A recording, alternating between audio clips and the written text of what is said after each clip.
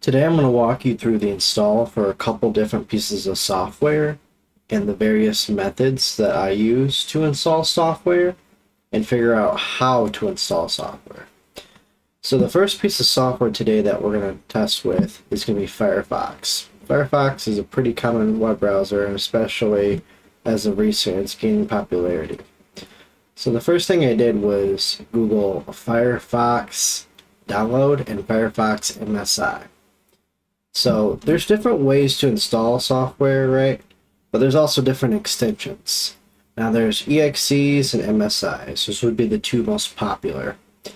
Executables often have install parameters or switches that are a little bit harder to find, whereas MSI is a Microsoft standard that they adopted, and MSIs typically have the same switches to install them, and I'll show you that shortly.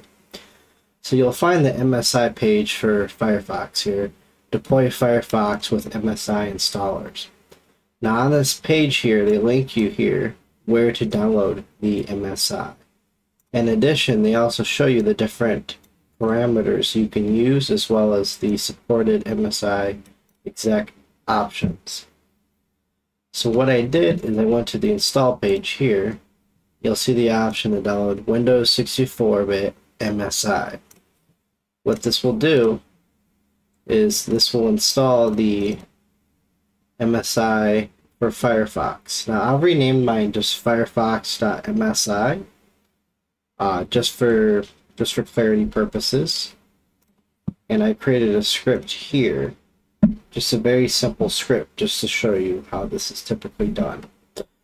So again, in the future, we'll make scripts that look better, that will do more, but this is a very beginner script. So the first thing we want to do is call MSI. So what MSI exec is, is this the MSI ex executable that installs MSI files, right? So you'll see here, let's do a prompt.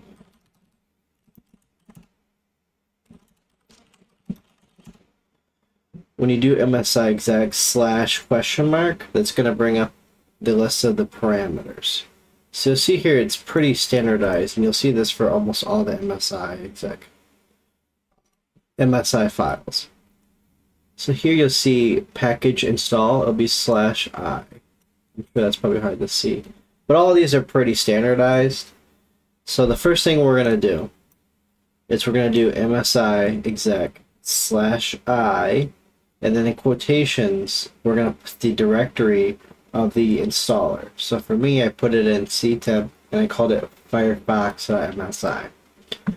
Now after this, you want to determine what are we wanting to do with installer. For me, I'm envisioning we're installing this in a corporate environment where users do not want to be affected by the install of this and they do not want their computer to restart, right? So we're going to do slash quiet right? Which is you see here. And then we're also going to do slash no restart right here because we don't want the computer to restart.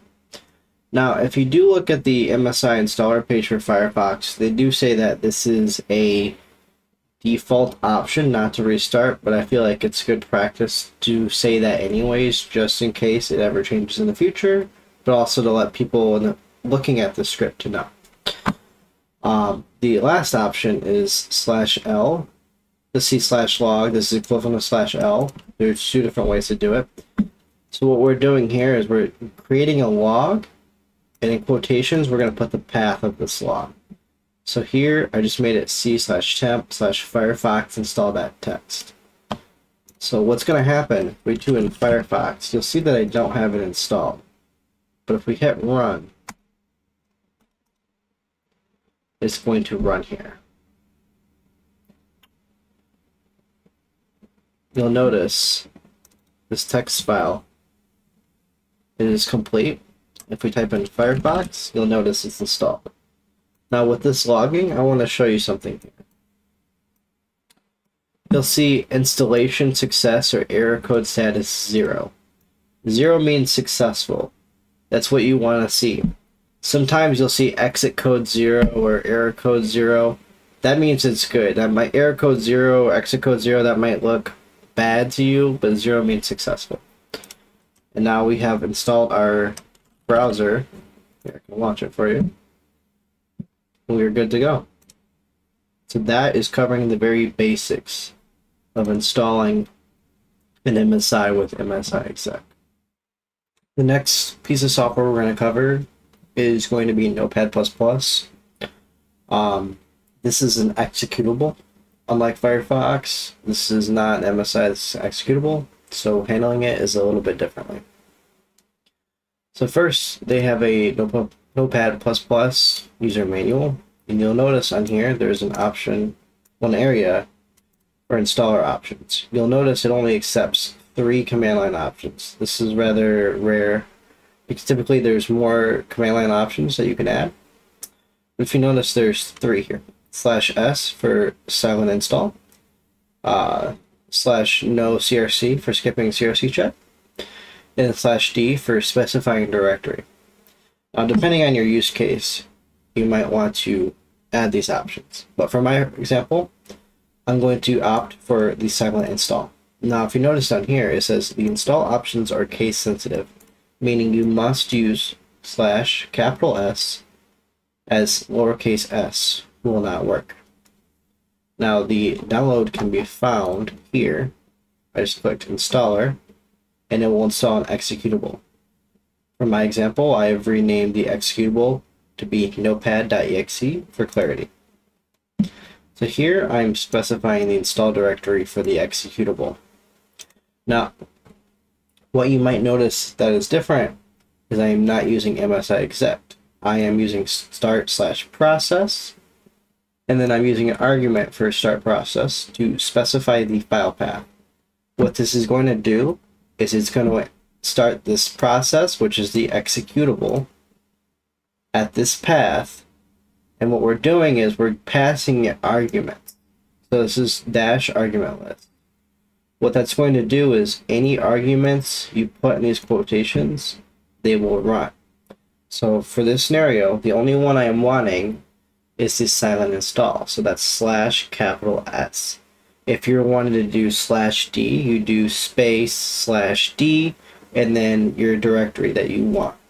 So for this, I'm going to run it.